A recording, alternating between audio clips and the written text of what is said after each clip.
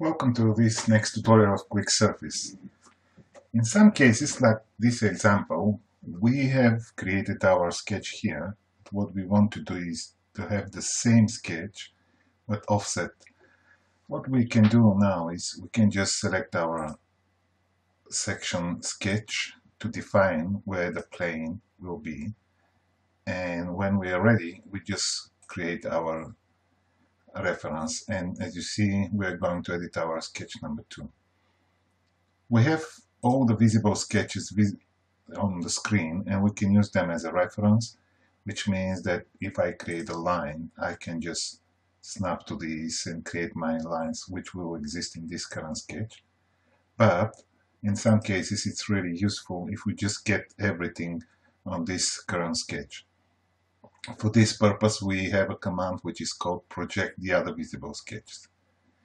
What this will do will take into account all the sketches which we have visible on the screen and will convert them by projecting on the current sketch.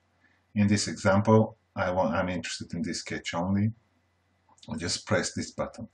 The software will prompt us about this action and if we're happy, we can proceed. As you can see, it, uh, the new lines or arcs have been projected onto this current sketch. And I can hide my other sketch and I have these primitives created here.